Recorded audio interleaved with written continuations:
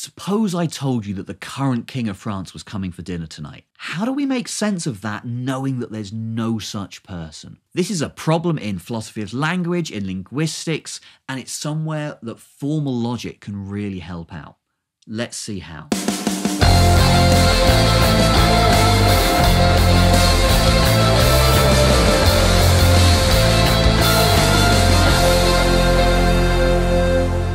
Hello everyone, welcome to Attic Philosophy.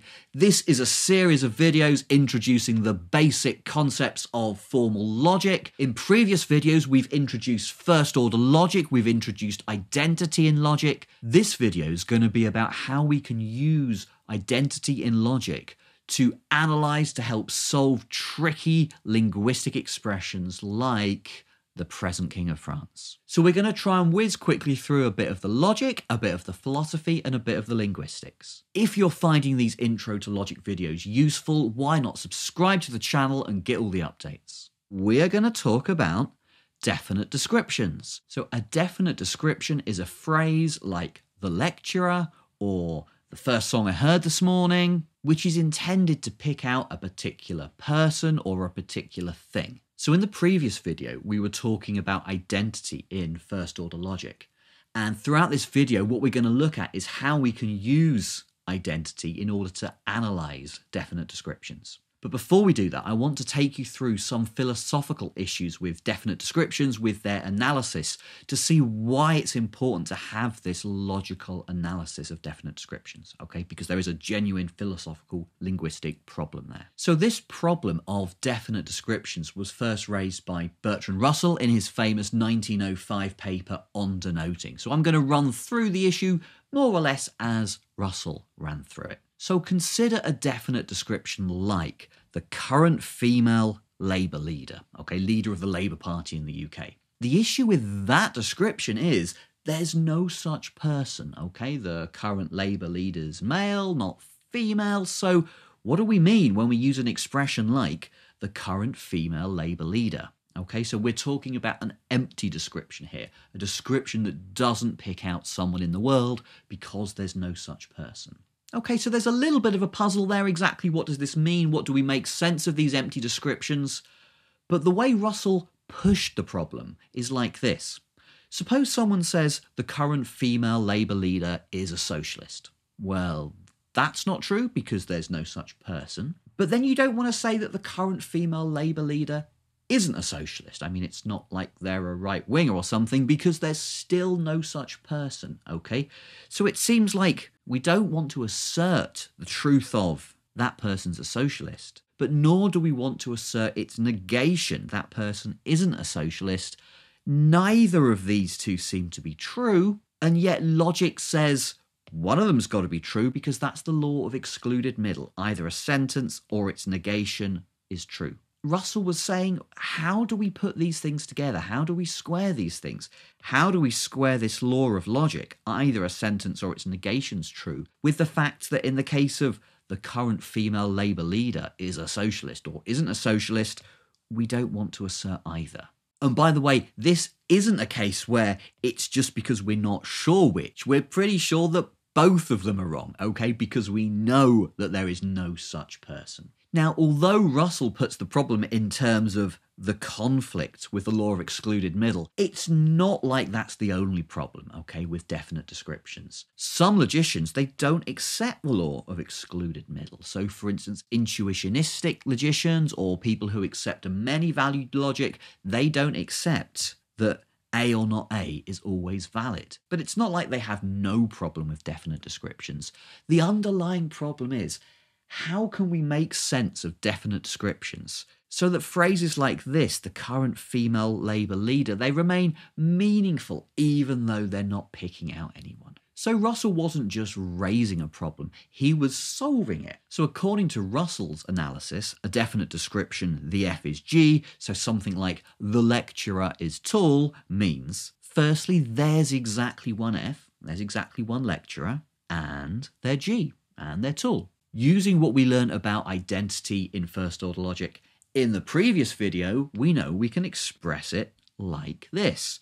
Remember, this thing says both that there's at least one F and at most one F. So it's saying that this x is the only f, and it's also saying that the x is g. So there's exactly one f, there's a unique f, and that person is g. So Russell was using this logical analysis to spell out the logical form of the definite description, the F. The F might sound like a referring expression, like a name, like Bob or whatever, but on Russell's analysis, it's not. Actually, it's a sentence. There's exactly one F something that can be simply true or false. And in the case of the current female Labour leader, it's clearly false because this says there is such a person and there isn't. So, according to Russell, the definite description, the current female Labour leader is a socialist, would be false. Russell's analysis solves the problem of the law of excluded middle in a really nice way because although this sentence is false,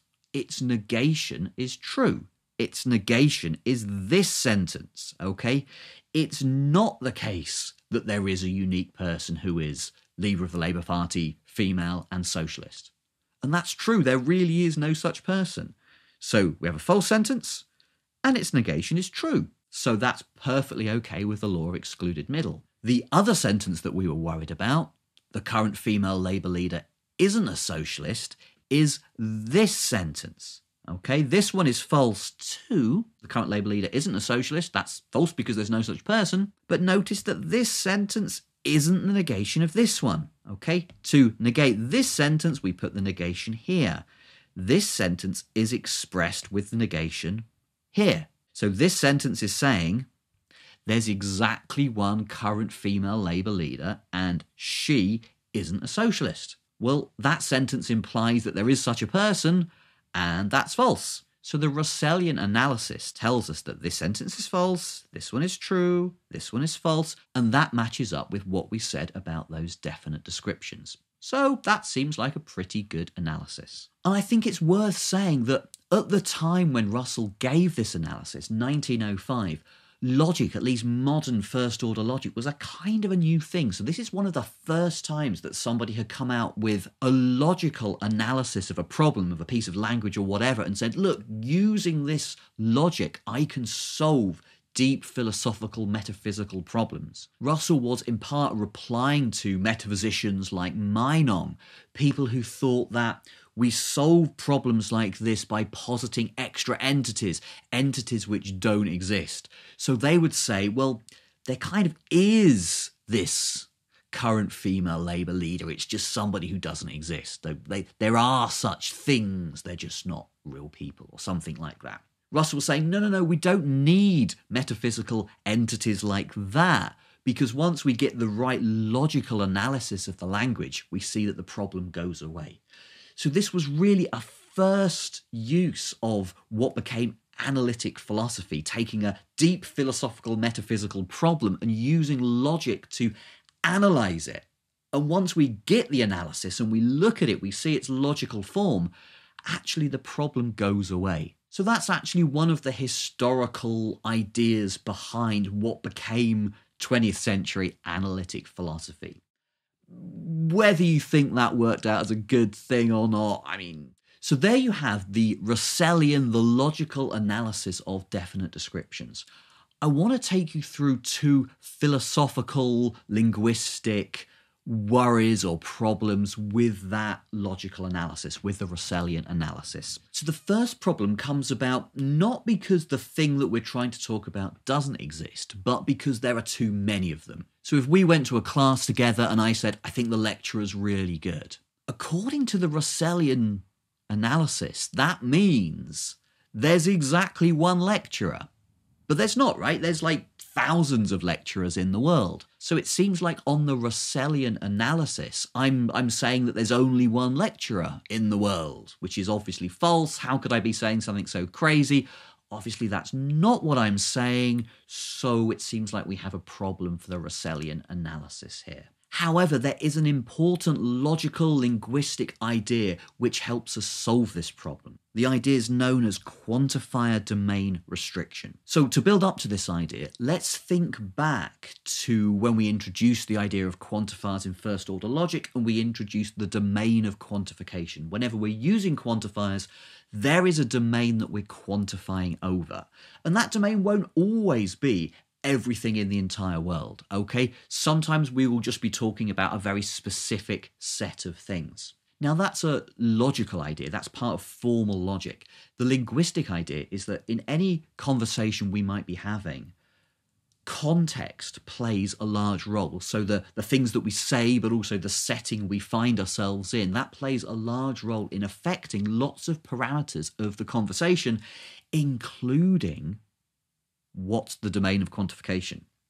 So as we talk or as we change our setting, the domain of quantification might expand, contract, or whatever. In particular, if we start talking about, for instance, that lecture we went to last week, then the domain of quantification shrinks down, maybe temporarily, to people in that lecture. So when I say the lecturer, I'm now quantifying not over everyone in the world, but just over the people in that lecture. And then there was one and only one lecturer. So that's how I managed to pick out the unique lecturer using that definite description. Okay, and notice because this is happening contextually, I don't explicitly have to say, oh, the the lecturer of the, the lecture last week. The context, the background does all of that. So we start talking about that lecturer. I say, I thought the lecturer was really good, and I managed to pick out that person the domain of quantification has shrunk down enough so that we can pick out a unique person. So, this linguistic idea of context playing a large role in helping us make sense of what we're saying, this is not new and this is not something that only crops up when we're using quantifiers. Okay, so it's a very general phenomenon, but we can apply it specifically here to make sense of definite descriptions on the Russellian analysis. So, I think that's a really good way of trying to avoid this problem. Does it really avoid the problem? Well, some people think there are cases where the domain of quantification obviously includes two or more of the thing you're talking about, so a definite description on the Russellian analysis shouldn't work, but it does work. So if there are such cases, they're genuinely going to be a problem for the Russellian analysis. The second issue I want to talk about for the Russellian analysis of definite descriptions concerns presuppositions. So let's talk a little bit about presuppositions in language. Often, if we make an assertion or ask a question, there are, there are certain presuppositions involved. So if I ask you, did you close the window, but the window was closed all along, it's not like you would say yes or no. You would say, well, that doesn't make sense. The window was always closed, it didn't need closing. So this is a case where we have presupposition failure.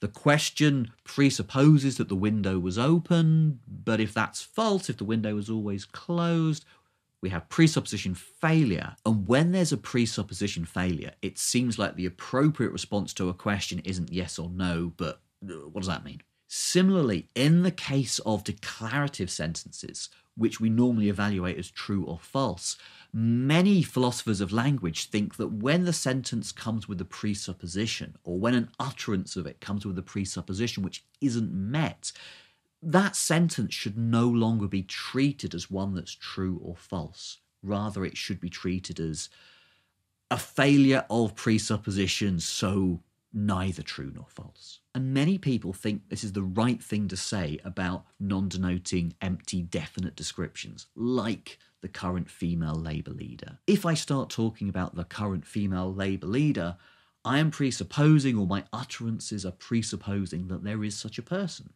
But there isn't. We've got presupposition failure.